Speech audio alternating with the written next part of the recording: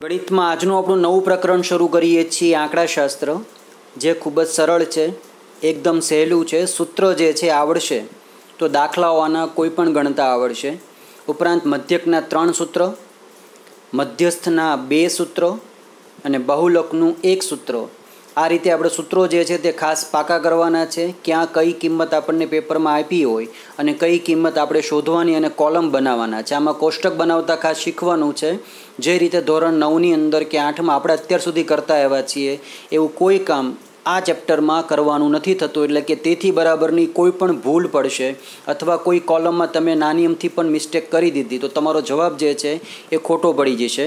સરવાળો અને ગુણાકાર જે છે તે આ ચેપ્ટરમાં ખાસ પાકો થવો જોઈએ. ભાગાકાર જે છે તે દરેક વિદ્યાર્થીને આવડતો જ હશે. જો આવડતો હશે તો જવાબ તમારો આવી જશે અને ભાગાકાર નથી આવડતો અથવા છેદ ઉડાડતા નથી આવડતું, તો તમને આ ચેપ્ટરની અંદર સો ટકા તકલીફ પડવાની છે. એટલે ખાસ ગુણાકાર, સરવાળો અને ભાગાકાર પાકા કરવા.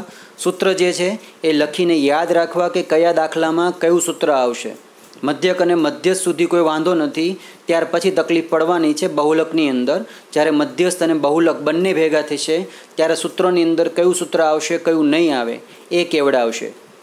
ધોરણ નવમાની અંદર આપણે ઘણી ખરી બાબતો આ ચેપ્ટરની શીખી ગયા છીએ, જેમ કે વર્ગ લંબાઈ, મધ્ય કિંમત, અધસીમા બિંદુ, ઉર્ધ્વસીમા બિંદુ. માહિતી, આવૃત્તિ આ દરેક વસ્તુઓ આપણે ધોરણ નવમાં શીખી ગયા છીએ. મધ્યસ્થના દાખલા ધોરણ નવમાં આપણે ગણેલા છે અને મધ્યકના પણ ગણેલા છે. અવર્ગીકૃત માહિતી માટેના.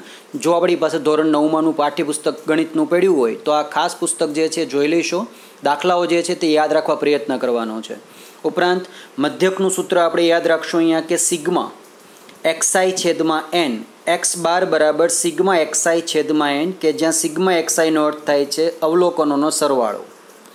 બીજું સૂત્ર છે, વર્ગીકૃત માહિતી માટે પ્રત્યક્ષ રીત, એટલે કે સીધી રીતમાં આપણને કોલમ જે છે પેપરમાં આપી દીધા છે વર્ગ અને આવૃત્તિ. જ્યાં એન આપણે જાતે નક્કી કરવાનો અથવા પેપરમાં દીધો હોય, તો શોધવાનું છે મધ્ય કિંમત અને ત્યાર પછી શોધવાનું છે એફઆઈ એક્સઆઈ આપણું સૂત્ર બની જશે એક્સ બાર બરાબર sigma F i X i છેદમાં એન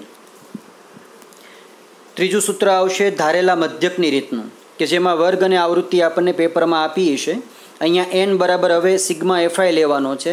મધ્ય કિંમત બનાવવાની છે કોલમ. એ આપણે ધારવાનો છે. ડીઆઈ જે છે તમે મધ્ય કિંમતમાંથી ધારેલો મધ્યક બાદ કરશો તો આપણને ડીઆઈ મળી જશે.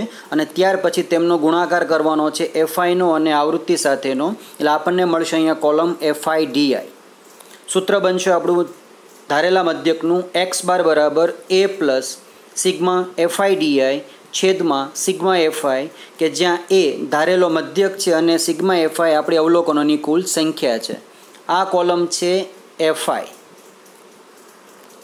ત્રીજું સૂત્ર છે વિચલનનું સૂત્ર, જેનું બીજું નામ છે પદ વિચલન. તો આ સૂત્રની અંદર વર્ગ અને આવૃત્તિ આપણને પેપરમાં એફઆઈ આપેલા હોય છે. મધ્ય કિંમત શોધવાની છે, મધ્યક ધારી લેવાનો છે. આપણું કોલમ છે બનાવવાનું યુઆઈનું યુઆઈ બરાબર તમે જે મધ્ય કિંમત ધારી છે, એટલે કે મધ્યક તમે જે ધારેલો છે, એને તમે આપેલ મધ્ય કિંમતમાંથી બાદ કરશો અને છેદમાં તમારે એચ અથવા તો સી જેને કહેવામાં આવે છે વર્ગ લંબાઈ એ મૂકવાની છે. એટલે આપણને જવાબ સીધો જે છે, એ કોલમમાં આવી જશે. ત્યારબાદ આપણું અંતિમ કોલમ બનાવવાનું છે એફઆઈ ડીઆઈનું સૂત્ર છે આપણા મધ્યકનું એક્સ બાર બરાબર A plus sigma FI UI છેદમાં સિગ્મા એફઆઈ ઇન્ટુ એચ અથવા સી. મધ્યસ્થ માટેનું સૂત્ર આપણે જોઈ ગયા હતા ધોરણ નવમાની અંદર કે જેમાં આપણને માહિતી આપી દે અવર્ગીકૃત. તો સૂત્ર આપણી પાસે બે આવતા હતા કે જેમાં એન અયુગમાં આવતો હોય તો મધ્યસ્થ બરાબર એન પ્લસ એક છેદમાં બેમું અવલોકન.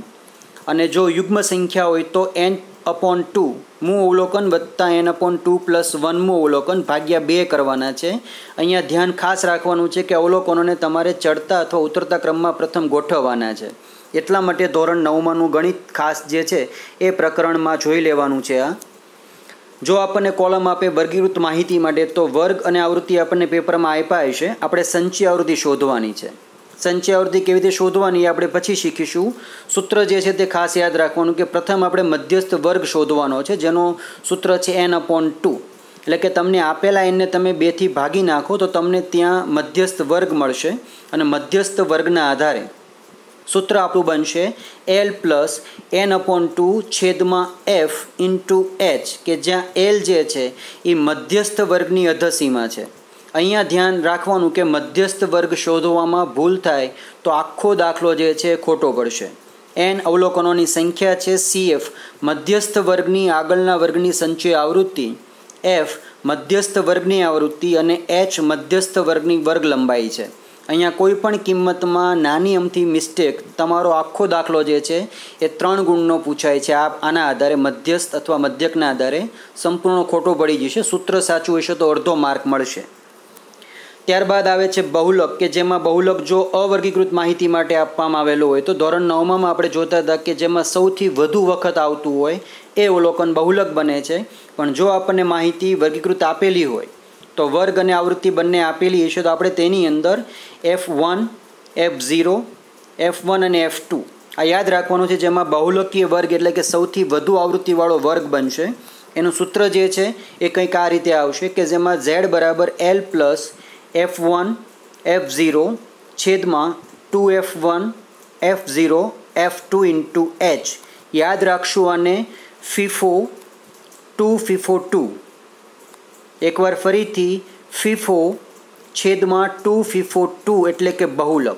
કે જ્યાં એલ બરાબર બહુલકીય વર્ગની અધસીમા છે એફ ઝીરો બરાબર બહુલકીય વર્ગની આગળના વર્ગની આવૃત્તિ એફ ટુ બરાબર બહુલકીય વર્ગ પછીના વર્ગની આવૃત્તિ અને એચ અથવા સી બરાબર બહુલકીય વર્ગની આવૃત્તિ બને છે, વર્ગ લંબાઈ બને છે.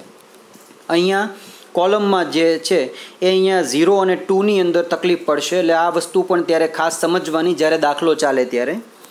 ત્યાર પછી અંતિમ ટોપિકમાં આપણી પાસે આવશે સંચી આવૃત્તિ વક્ર. પેપરમાં આપણને વર્ગ અથવા આવૃત્તિ આપેલી હોય તો આપણે તેમાંથી ઓછા અથવા થી વધુ શોધવાનું છે. જેવી રીતે આપણે ધોરણ નવમાની અંદર શોધતા હતા અને વર્ગ સીમા બિંદુઓ. જો તમારે થી ઓછા લેવું એટલે કે અધસીમા બિંદુ જોતા હોય તમારે ઝીરો પોઈન્ટ પાંચ બાદ કરવાના છે અને ઉર્ધ્વસીમા બિંદુ માટે તમારે તેમાં ઝીરો પોઈન્ટ પાંચ ઉમેરવાના છે. એ કોલમ પણ આપણે જ્યારે આ ચેપ્ટર ચલાવશું આગળ ઉપર, ત્યારે ધ્યાન રાખીને ખાસ સમજી લેવાનું છે. ઉપરાંત પરીક્ષામાં પૂછાતા આલેખો જે છે, એમાં ઉર્ધ્વસીમા બિંદુઓ. સંચય આવૃત્તિ. આ આલેખ જે બને છે તે થી ઓછા પ્રકારનો છે. તો જેની અંદર ઉર્ધ્વસીમા બિંદુ એક્સ ઉપર અને સંચય આવૃત્તિ વાય ઉપર લેવાની, આ છે થી વધુ પ્રકારનો. તો થી વધુ પ્રકારના આલેખમાં તમારે અધસીમા બિંદુ લેવાના છે એક્સ ઉપર અને સંચય આવૃત્તિ લેવાની છે વાય ઉપર. અને બંને જ્યારે ભેગા પૂછે, થી ઓછા અને થી વધુ બંને પ્રકારના, તો મધ્યસ્થ વર્ગ સીમા બિંદુઓ જે છે એ અહીંયા બતાવવાના, જેમનું છેદ બિંદુ જે છે એ અહીંયા આવશે. આ સાથે આપને આપવામાં આવેલા પ્રશ્નોના જવાબ શોધી લખીને પાકા કરવાનો ખાસ પ્રયત્ન કરવાનો છે.